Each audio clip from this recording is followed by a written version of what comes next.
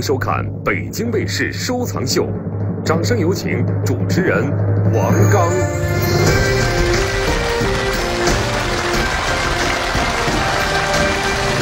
谢谢大家，谢谢谢谢，欢迎您收看中银理财收藏秀。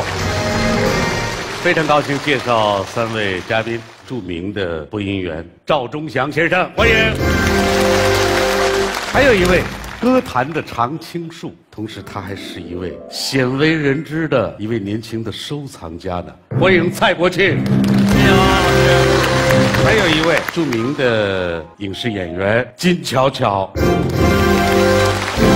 三位鉴赏家呢，分别是著名的收藏家、资深的艺术品经纪人翟建民先生，首都博物馆的研究员王春成先生，中汉拍卖公司的董事长卞义文先生。大家都知道，每一期的收藏秀呢，开始出场的是一件重器，哎，这件重器，当得一个“重”字。为什么这么说呢？可以说，这类瓷器在中国的陶瓷史上那是大名鼎鼎、如雷贯耳，尤其是在收藏品市场上，那就是一个驰名的商标啊！什么呢？成化官窑青花瓷，它是什么样呢？请看亮宝。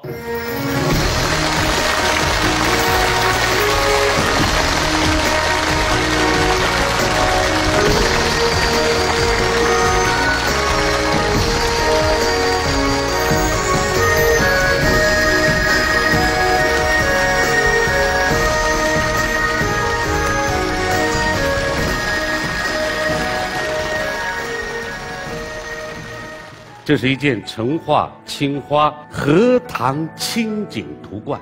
三位近前看，我们请一个鉴赏家介绍一下子眼前这件重器。这件重器啊，可以说是难得、难得再难得的一件啊，见见面的见，一件东西。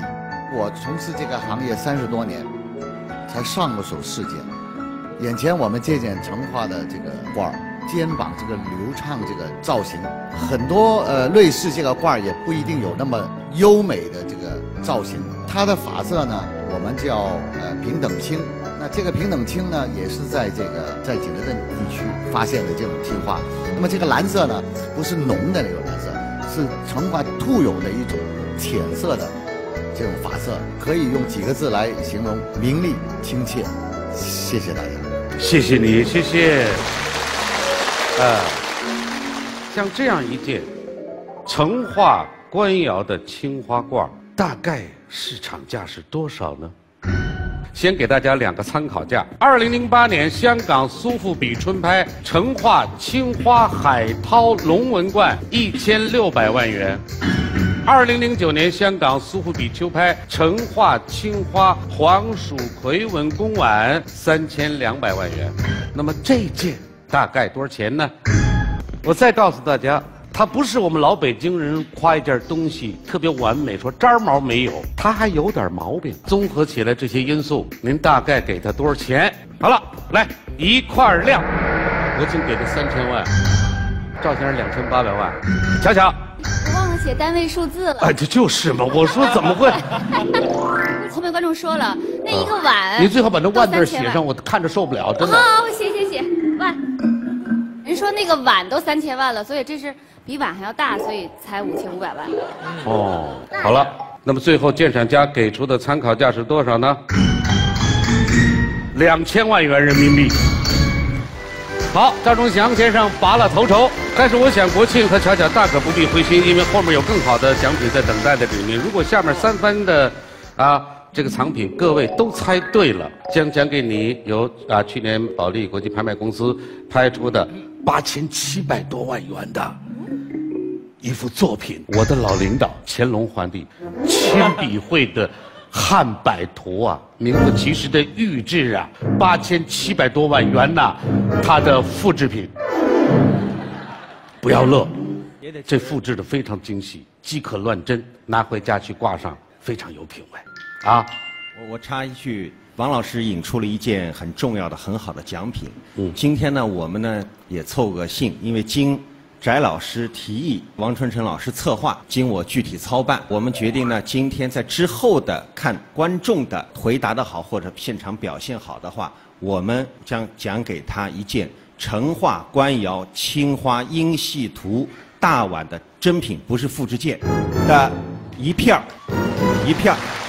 现在专家把我们主持人呐，或者搞所谓有声语言艺术的演员们，这个饭碗都给抢了。他现在说话也学会大喘气了。不要小瞧这块青花瓷片，它也可能会带着您走上啊一个收藏的正途。好了，下面我们以热烈的掌声欢迎第一位藏宝人出场。细观青花，妙论成画。我是心里哆嗦，我表面不哆嗦。王刚贤弟，这点钟祥兄我不敢苟不行，我选择吃大餐。每一个瓷器的背后啊，都有一段动人的故事。这么一说，我感觉我走路好像都不大顺溜了。嘉宾垂涎，真假立现。就要一大玩意儿，咱们今后呢结成朋友。青花龙纹罐，请注意。亲爱的朋友们，大家好！三位嘉宾好，主持人好。我叫王全喜，今年六十二岁，镶蓝旗，地地道道的老北京。我今天带来的这个罐呢，是明成化天字坎青花金瓜龙文冠，希望各位朋友大大的支持我，谢谢了。我的自报价是六百六十万，意思是六六大顺。好，谢谢谢谢谢谢。但是，我我为你刚才那个上场的开场白，略微感觉有些遗憾。啊，您刚才说了，各位嘉宾好嗯啊，主持人好嗯，您忘了有三位哎，呦，对对对对，三位专家特别的特别的好。哎，不 这事儿我们听着有点别扭，凭什么他们仨就特别特别的好呢？因为他这笔头子我我我惹不起，到时候一写是吧？那我那金锤你惹得起吗？好的，这这河南人更惹惹不起。哎，开玩笑，开玩笑。三位近前看，专家请。天字款儿，哎，天字款儿。好了，我请先说。我今天真是来着了，因为对于我来讲，这个对瓷器的喜爱大家略知一二啊。但是呢，能够看到，特别是前面第一件那个我们的展品的时候哈，我就觉得语言都会变得特别空洞。你只能说它是那么的灵动，那么的美啊。那这件呢东西呢，我看着喜欢。再一个呢，我首先刚才您一上场那架势真的把我呃吓着了，您真有点天子的意思。我告诉你们，我这东西好。谢谢，一下谢谢，谢谢。哎呦，再一个呢，咱是都是老北京，啊，对对对，都是老乡。哎，太好了。啊，我跟您哎。有一份情感。啊。如果这东西真是真的，您打算怎么跟我有没有出手不我告诉你啊，啊？我这要是得了金牌啊。啊，然后我请你赵老师和乔乔啊，包括王王老师啊，啊。咱们一块儿。又把人这三位给落下了，哦，哦，对对对，老把这个最后决定胜负的人。三位这个专家，咱们一块儿大餐了。大餐不行，那这个我们就要一大玩意儿啊。好，好好 但是别超过这样给您是两个选择，如果对的话，是金牌送给他，还是把这罐子送给他？对，那个别超过金牌的价钱就行，什么都行。老老北京，你看多多多可爱啊，老先生嗯。但是有一点，王老师，我有点不明白。我就等着你最后这句话，就是这这个龙头啊啊，怎么就有点那个画的看不太清楚？有点污土。对呀、我就觉得那皇帝能玩他吗？看着他觉得不舒服。我把国庆提这问题啊，嗯我做一回答。嗯啊，这刚才他说这个有点浑浊，这个当时是怎么回事呢？对象征这皇上啊嗯有点昏庸。成化皇帝啊，他在位是二十三年，刚继位的时候啊挺好，平反了许多冤案，让那些被贬的官员呀、重新回到了官的位置，大有振兴的那个气氛。可是好景不长啊。没多久，他就迷恋这个佛道啊、神仙啊，这个怎么长寿，迷恋酒色练仙丹去了。啊，迷恋酒色了。所以你说他这么一来，结果他就不务这个政务了。工匠反对，心说了，我不敢说一说，咔嚓，脑就给切下去了，怎么办呀？我在这上表现出来了，所以我这罐儿体会出那时候工匠的心情来了。哎呦喂，嘿，啊，这么个意思啊。他这个他这个说的是有一句话，我们得说的准确一点。你比如说，嗯呃，喜欢这个要要追求长生不老啊，啊什么炼丹呐、啊，这是几乎是明代皇帝的通病。嗯，好多都这个毛病啊啊，家境最尤甚，那是他的后代了。但是刚才说的说，呃，这成化帝呃喜贪恋酒色，是不是？嗯这个好像我不大敢苟苟同。确切的说，不能说成化皇帝是一个什么昏庸之君，这个哎都靠不上不是这样边。他可以用另外一个词，我觉得他是个弱君，就是他的性格啊、执政的理念啊，啊甚至包括他的情感世界都是偏于弱的。这个弱甚至体现了他的某些天真平淡和可爱之处，这个在官窑瓷器上也是能有所体现的。哦，首对这说的对我首先今天来，哎，嗯学了点知识，很好。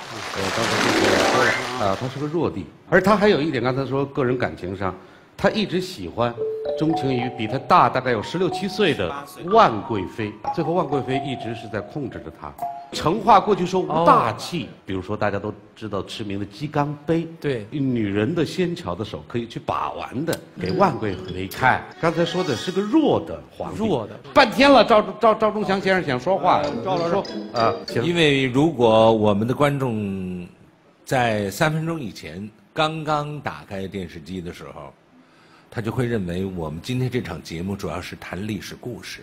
嗯，我想走我觉得好像题了王王刚王刚贤弟，啊。咱们还围着这词说说好不好？呃，这点钟祥兄我不敢苟同不行，恰恰是围绕着词，能够说出他很多历史的典故了，甚至民间传说了，才才有意思。那我万万不能同意这位持宝人所说的，我们的工匠用他的描绘词的这种笔法来讽喻朝政。我们的工匠在当时，在当年，在那样一个长期的制度之下，他对皇权充满的是一种敬畏，甚至可以说是盲从。宫里头有活儿派下来了，他说：“听说这皇帝怎么怎么回事？他哪知道那么多的细节，哪儿那么多的信息跑出去呀、是吧？谁给传这话呀？满门抄斩呐！现在呢，我就回到这瓷器上。对对对，你也跑题了，我 快点的。嗯，说瓷器，这件瓷器，我怎么听着怎么像动物世界这件瓷器？哎，您说它来自遥动物世界远的巴西非常的好。不是这件瓷器呢啊，？你快往下说。你哪儿来的？这是我一亲戚，呃，东西，他胆儿小，他不敢来，他托我给拿来了。他为什么胆儿小呢？呃，我也不太清楚。他怕我们给劫了。不是他这个人啊，不不敢见这场面，他一见场面他就哆嗦。我比他强点儿我是心里哆嗦，我表面不哆嗦。我 就来了。您这亲戚从哪儿来的？他说是在一个地摊上买的，哎呦，地摊哪个地摊儿啊？捡这么大漏？那，早买的了，谁都不把这当好东西，很卖出来了。哎，得出结论了我得出结论了。啊！反正每一个瓷器的背后啊，都有一段动人的故事。这段动人的故事又使我们认为它是真的，呃呃，是真的。其实啊啊，还是真的。它比较靠谱。谢谢赵老师。瞧瞧，我觉得我今天来收藏秀哈，既高兴又不高兴。为什么？高兴的是，我今天跟主持界的常青树、嗯唱歌界的常青树、嗯两位老师一起，我认为我肯定能沾光。将来我要做影视界的常青树，大家说行吗？好，沾点光。我不高兴的是，我觉得两位老师说的都太专业了，我整个一个说实话，我完全外行，我啥都看不懂。恰恰你这个就就跟他们不一样了，是吧就什么质感，凭质感女人的质感。反正是这样的，我看这罐儿吧，它那个上面画那龙那个腿儿吧，特像假肢。因为通常好像龙，我觉得腿应该生龙活虎，但那腿儿跟那个画的挺假，有点像假肢，就是这种感觉。你这么一说，我感觉我走路好像都不大顺溜了。别呀别呀！哎但是现在我要说它是真是假是吗？对，反正甭管它真假了，这位藏宝者说了，我要说他真，他就请我吃大餐。哎，对我刚才说了，我高兴，我不高兴的是，对，跟两位老师他们特专业，我就显得我特别不专业。我是不是不专业要去坐那板凳啊？挺敏感。卧薪斋呀，给谁预备的呀给？我你以为就随便说了啊，然后光等着拿奖，就给我预备的。奖惩分也明。就是说，坐板凳和吃大餐，我我选择一下。对呀、我选择吃大餐。选择吃大餐，对，那就认为这个东西是对的。对，好的，嗯行吧。可以啊。啊，呃，如果吃不上大餐，就是这个东西是错误的，您请那儿坐着去。坐板凳，行。对，刚才那个金校长，哎你刚才问的那个问题，嗯我给你做一回答。这个是怎么回事啊？这个成化啊，那会儿刚上台的时候啊，相对来说比较动乱，所以他那个年代做出来的那个瓶子也好，是画出那龙来也好，不可能像宣德似的那么霸气，他是比较骨瘦如柴，多骨少肉，这一点正符合当时成化年间这种罐儿的珍品。哦。是吧？当时我那个那个亲戚就说了，他正是因为这个瞅这龙爪子呀比较细，骨瘦如柴，哦才买的这个罐儿，哦，就因为它像假肢才买的这罐。不是假肢。他那 当时啊，他那个年代啊，啊哎，做出来就是特点，明白了特点，明白了 瘦的一特点。行了，来来听听听听，你北京人讲完，听听香港人怎么说。这条龙应该呢是叫呃草龙，或者是香草龙。那么这个头部啊，它圆圆的，它不像我们看明早期啊，或者是其他的一种龙的那种呃那么象征呃是仿玉的一种龙的形状。哦，谢谢谢谢谢谢谢这龙有多少种？嗯，好了好了，要这么强调起来，尤其是在这这几个北京人要在一块儿，那要说起来，那这这下面该大伙儿聊了。通过什么手段聊？通过您的表决器，认为这个东西真还是假？请开始。哟，看出来了没有？大家非常相信赵忠祥。中间哎，中间这组是真好，你看，你们有眼力我真的不认识您。啊！对对对对对，嗯，我呢也不准备吃您那顿大餐。那但是呢，我冲这个罐儿呢，我得说点儿真话我我自己认为它挺好的这么一件事儿。太好了。这样咱们今后呢结成朋友。不是不是不是不是好，我我哥，你别你别含糊，啊，你别含糊。没有我觉得你这罐儿挺好的，这话什么意思？挺好的，就是特别好，真的。真哎。啊，好，好，好，好，国庆，这这后边你们受谁影响了？就这玩意儿吧，我找了太多年了，一直没找着。嗯，原来在您手里呢。哎呦哎呦，国庆，那就是对了。啊，我喜欢，我觉得这玩意儿我喜欢。别老我喜欢啊这个东西，这就仿的不错，我也喜欢。啊，真的假的？新的老的？您的第一种答案吧，王老师。嗯，好了，啊，瞧瞧，虽然我后边观众不太相信我，但我觉得相信我自己。你我的嗅觉闻到了大跟赵老师餐的味道。我跟赵老师和两位专家都一样。啊，好的，嗯，我们看看最后鉴赏家的意见。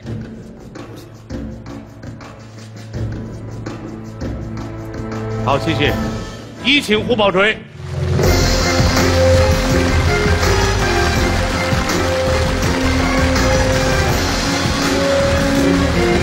谢谢。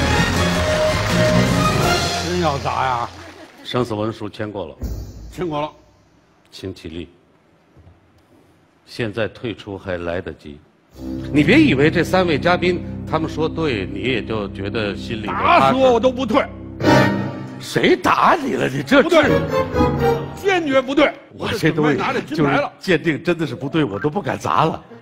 看见没有？如果真像你说的，这是一个成化的啊本朝的天字罐的话，将给你由北京保利国际拍卖有限公司提供的我们这个收藏秀栏目的录制纪念纯金金牌一枚，纯金九九九。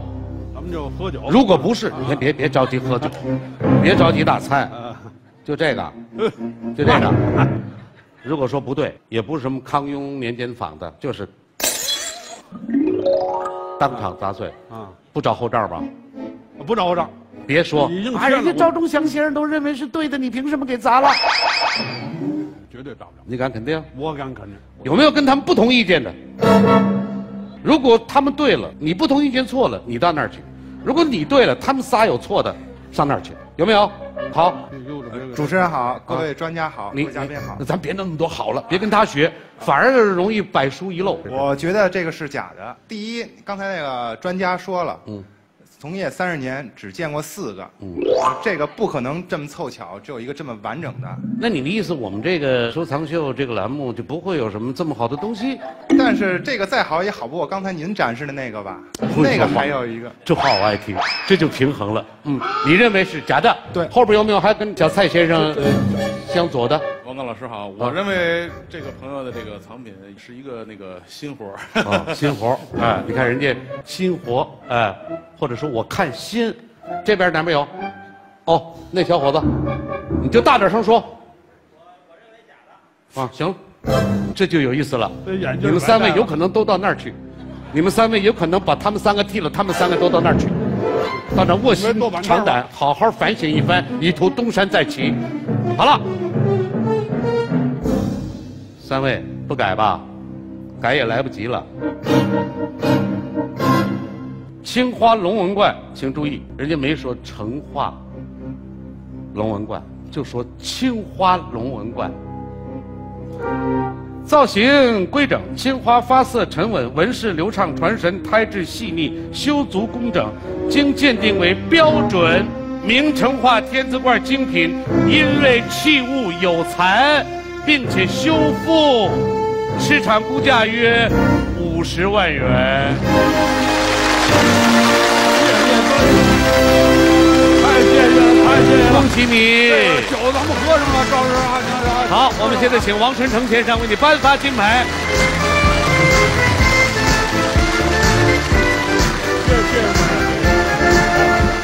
首先，恭喜三位嘉宾旗开得胜。我们接着以掌声迎送那三位到卧薪斋去。大家可能怀疑说这个东西它是真的，怎么会就五十万呢？这是怎么回事呢？实际上，这件东西有严重的这个伤残，经过修复，整个又重新照了一遍子釉，把它伤残的面目全部遮盖住了。好，最热烈的掌声欢迎第二位藏宝人。何种藏品？嘉宾如此评价。观众也没白打开电视机，您看着了，他那一个人还四个人写的。问问幺幺零，报个警，故宫里丢一个。胆儿也忒大了。奇特纹饰变身动物世界，龙头、狮眼、鹿角、蛇鳞、马蹄、牛尾。那到底是海马还是四不像啊？专家说是海马，你说四不像。我说了不算，是不是？主要是他。大家好。好，您请开始介绍。大家好，我叫郭帅，今年二十四岁，来自北京，是一名地铁司机。今天呢，我受我一位叔叔之托呢，给大家带来了一件明成化斗彩麒麟纹天字罐，谢谢大家多多支持啊！我这件藏品要是真的，我请所有的朋友们一起吃饭去。我看出来您那套挺好使，所有的朋友们啊，我这要真的，是真的一会儿咱吃饭去。嗯，不是，您这个报价多少钱？我这个报价九百九十九万。差一万一千万，三位请看吧，专家请。好了，散会了。巧巧，这回你先说。嗯，我先说，那个我看比较粗糙，而且它那个上边那个动物有点像四不像，那个耳朵上好像戴了五个耳环。哪有耳啊？有，您仔细看看，有个耳朵。哦。是吧？你看这是像鹿，然后像马，嗯，这是个啥呀？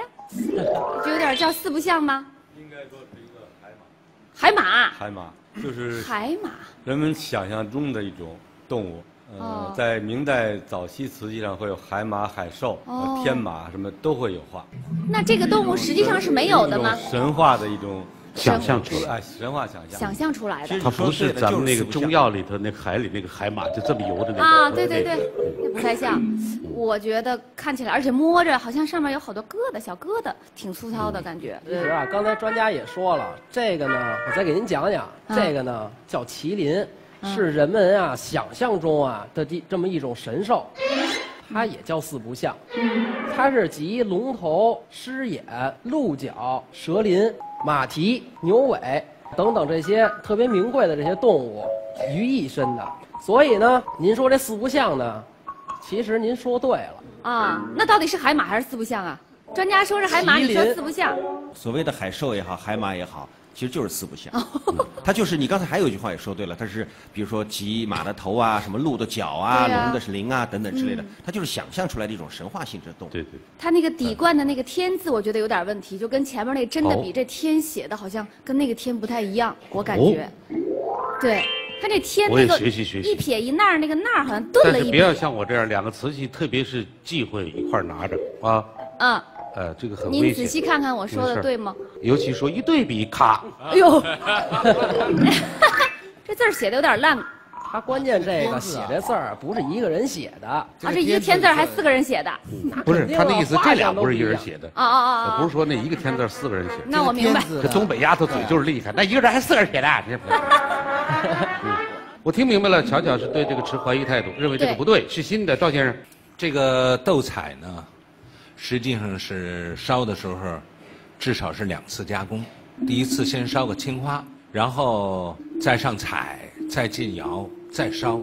出了以后呢，让他们斗起来。这个斗起来不是打起来，是对起来那意思。争奇斗艳，哎，斗起来，你会你会产生一种你觉得它有魔力，一定是这样的。起码今天没白来嘛。啊，对对对，不是今天没白来，观众也没白打开电视机，您看着了，是是吧？这就叫千载难逢。但是我们不能对一件器物，因为它千载难逢就断定它不是真的。我把这个刨除了以后，咱们现在就单到那个罐儿上，我非常佩服巧巧，他居然看出了这个“天”字的一捺有点毛病。这一捺呢是非常不入流的书法家，斜下去以后不摁笔，就这么生的一拐弯儿那他的功力呢都在三年到五年左右，敢给宫里头写这个款儿，胆儿也忒大了。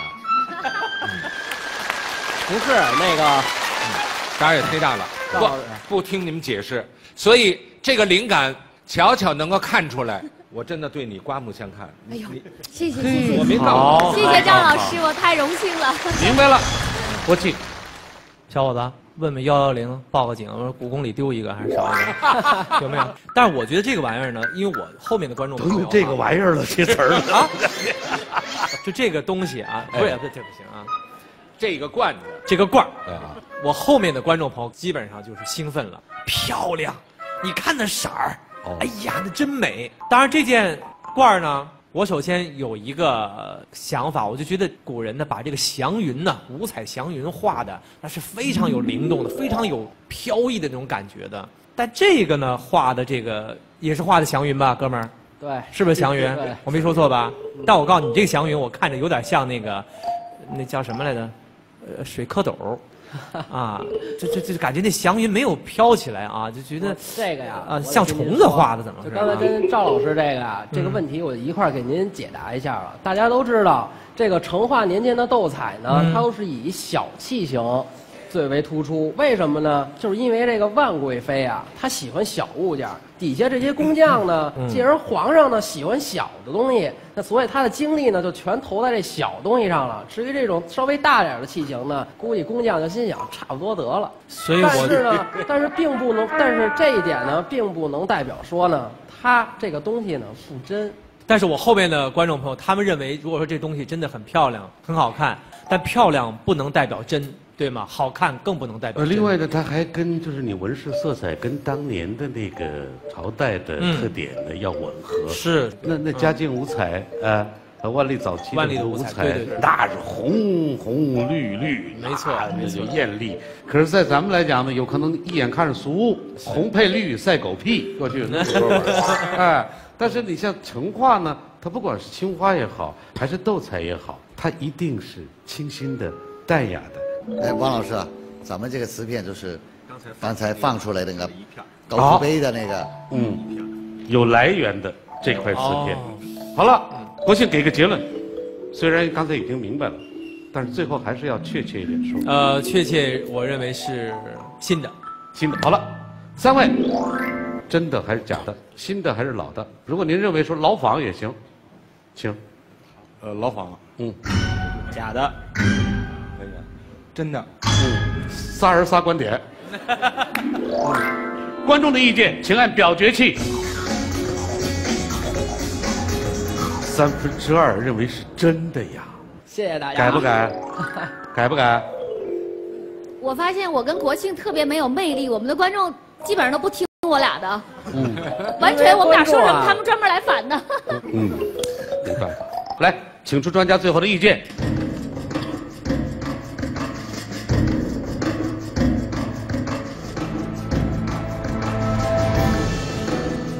谢谢，朋友们，二请胡宝锤。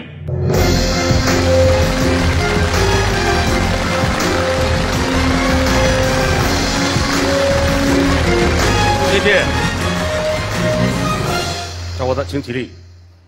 生死文书签过了，必须签了。必须签了，没有谁诱惑或者威胁，没有没有。全凭自己自愿。对对对。现在退出还来得及。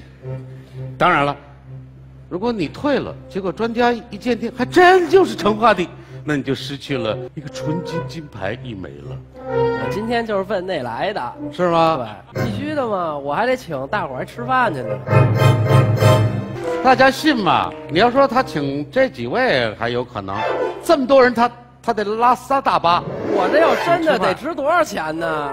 那也是。两顿大餐都请得起。是是是，我说了不算，是不是？主要是他，他这里边的意见啊。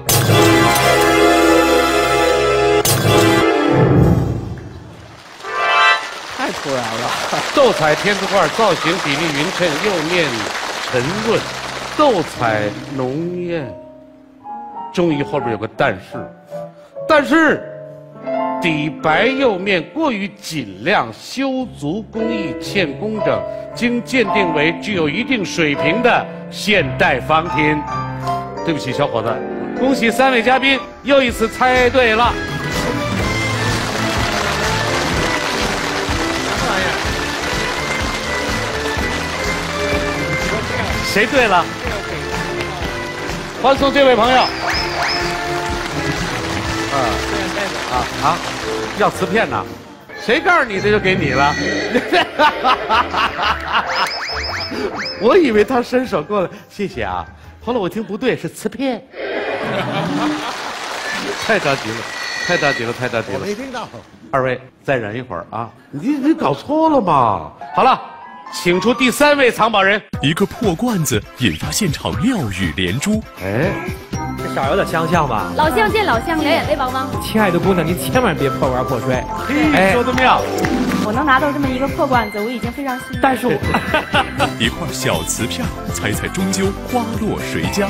对他本来就受过伤。对呀、旧伤不上，再添新伤痕。三个都认为一致，给这原本是我意料之中的事儿。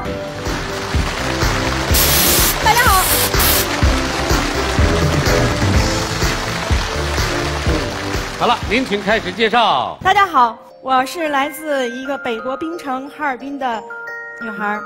嗯，我在台下的时候一直在对自己说，刚才他没拿走的那个金牌呀、就是我今天的目的。我要替他把那个金牌拿走。抱着这个目的呢，我就大着胆子，鼓足勇气，勇敢的把我这件藏品展示给大家。这是一个除了优点还是优点的一个名成化青花双狮细球罐儿。在这里，希望大家能够支持我这个东北姑娘，谢谢大家。啊，谢谢谢谢谢谢谢谢。您这个有个自我报价吗？呃，我自我报价是一百三十万。一百三十万。好了，三位请，鉴赏家请。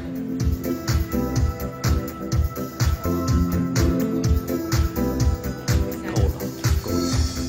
这回赵先生先说。这件东西是民窑的东西，它显得很粗。它呢是一个，我们今天说是残缺美，是你们家菜的还是你买了就是菜的？嗯，原本就是就是菜。到你手里就是菜的。对。哪年买来的？呃，这个不是我的东西，是我朋友的父亲的东西。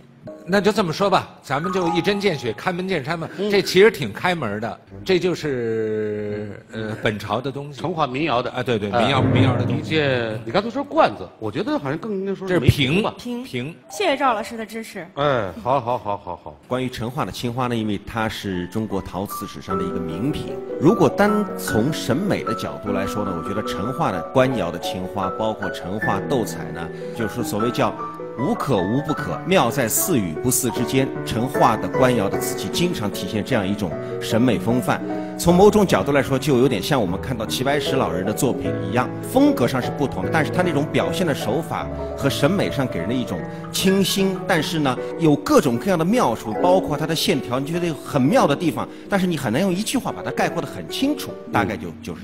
好，谢谢，谢谢，谢谢，谢谢。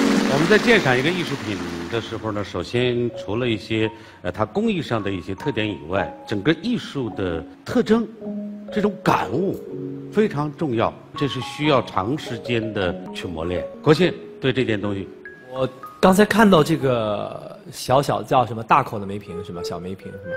是这样讲吗？对大家讲梅瓶也可以这么叫啊我突然就觉得跟我今天穿这衣服这色儿啊，你看我今天知道青花吗？你看，哎，这色儿有点相像吧？哎，对成画。所以呢，我要遇到这种东西，我就觉得这是叫心肝宝贝。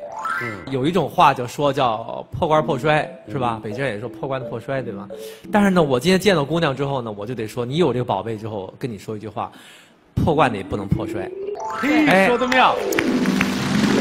这玩意儿，哎呦，这玩意儿了，因为我就是看到它之后哈，我会觉得刚才赵老师说的民谣哈？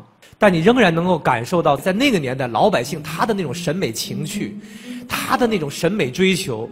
虽然说他比不了官窑，但是我觉得一切好的官窑都来自于老百姓的手中，来自于民窑。有了民窑，才有了官窑。所以我觉得那个这种青花是那种淡雅的感觉的时候哈，比那种特别明艳的青花更让人心动啊！所以，亲爱的姑娘，您千万别破罐破摔，好好珍惜啊！您放心吧，这罐子我一定好好珍藏。我能拿到这么一个破罐子，我已经非常欣慰了。但是我啊，但是我还是想问问这个专家，官窑可以上面是有龙纹的，是不是老百姓的官那个民窑上不许画龙纹的，只能画狮子？能能能能也可以，也有也有也有。哦，成化的装饰呢，应该是非常简洁，嗯，呃，不会很繁复。另外，过去青花瓷器上也有说，比如说永宣不分，但是慢慢慢慢，我们还是大致能分出来了。还有一种说成红不分，哦尤其在民窑青花里。所以说，如果这个是个真的，你说它是成化的，或者那个人那个人咬咬定，不是，我看它这就是红制，这个东西没有征集的必要。好，巧巧，呃，我用外行角度说我的三点看法。哎呦嚯，第一点呢，我认为破的烂的好像都是真的，因为假的话嘛，它会做的很很完美，色彩呀、然后形状啊，像前面那位帅哥的那个罐子就挺完嗯，不美的尽然，很多假的、新的，把它砸碎了粘起来当老的卖给你。啊，是吗？有，真的。哦，但这个看起来好像不像故意摔的，嗯好像是真的主要是你不久远了认为它有残缺就是真品。残缺的美，对对对。对对第二点呢，我看到一个细节啊，这个第一位这个藏宝人和第三位藏宝人在别人拿到罐子的时候，两位都特别紧张，然后那手嗯嗯，就感觉别人要拿的时候，他就特别紧张，想去接，而且都是小心小心。我刚刚看刚才看到这个，我们老乡也是这种感觉，就是怕我们摔到他的罐子，但是中间这位帅哥他就一点不紧张，随便拿，很泰然的站在那儿。所以我认为这是一个小细节。嗯还有一个就很简单了，因为这是我们东北姑娘，老谢谢乡你支持我。老乡见老乡，两眼泪汪汪，所以我肯定支持你。嗯，好了，现在该观众朋友们表态了，请开始。只有中间的敢跟赵老师唱反调。嗯，你们俩什么态度？真的，真的，真的，真的。想好了这个瓷片给谁了没有？啊，好好研究好。我们请出专家最后的意见。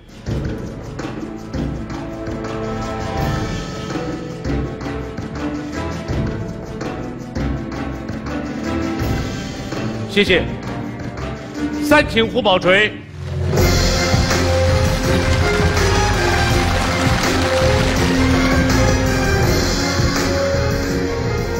谢谢。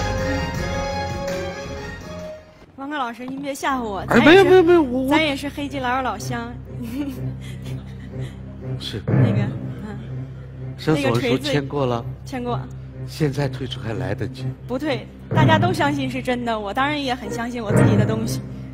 你真以为他们仨说了算吗？我真的不忍心再给他来一下了。他对他本来就受过伤。对呀 不能在旧伤痕上再添新伤痕。现在退不退？不退。青花双狮系球冠，造型规范，青花发色沉稳艳丽，很具时代风格。但是，青花双狮戏球冠，造型规范，青花发色沉稳艳丽，很具时代风格。但是，胎质略显粗松，修足工艺欠精准，经鉴定为。明成化青花民窑精品，器身有残，市场估价约十万元。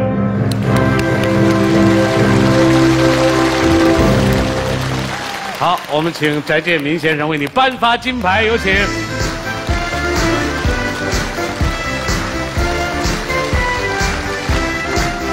谢翟老师。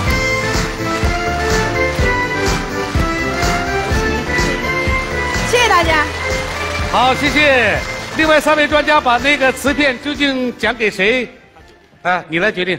我们三三个都认为一致，给呃呃呃小小这位女嘉哦宾，好吧？因为那赵老师跟蔡老师都是收藏啊嗯，都是有知识的人。那么他呢，对于这个收藏呢，也不是太。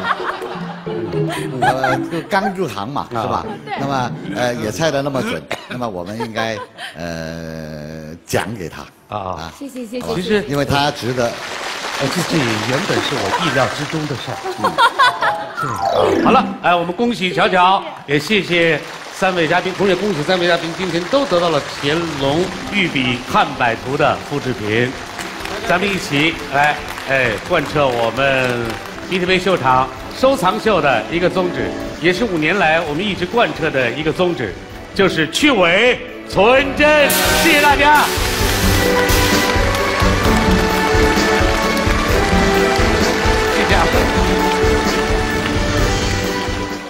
他们是二零一一年春晚舞台的焦点，在舆论的风口浪尖，他们将何去何从？在方向间唱过瘾，唱不够。他在成名之后，却遭遇了版权风波把。这歌给弄丢了。